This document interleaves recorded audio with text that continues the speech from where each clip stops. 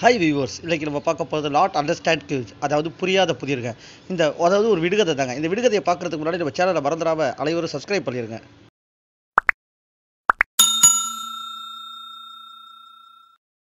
இப்போ நம்ம ஃபஸ்ட்டு பார்க்க போகிறது வாங்க. கத்திப்போல் இலையிருக்கும் கவரிமான் பூ பூக்கும் திங்காத காய் காய்க்கும் தித்திப்பு பழம்பழுக்கும். அது என்ன? இதான் உங்களுடைய ஆன்சர் உங்களுடைய கவுண்டர் ஸ்டார்ட் பத்து செகண்ட்குள்ளே ஆன்சர் கமெண்ட்டில் ப்ரெஸ் பண்ணுங்க.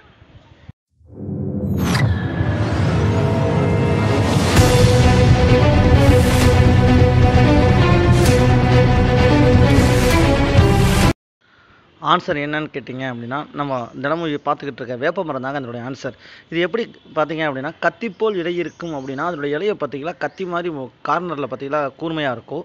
கவரிமான் பூ பூக்கும் அப்படின்னா அந்த பூவை பார்த்தீங்கன்னா கவரிமான் பூ மாதிரி இருக்கும். திங்காத காய் காய்க்கும் அப்படின்னா அதனுடைய பழத்தை காயை பார்த்தீங்கன்னா உங்களால் திங்க முடியாது கசக்கும்.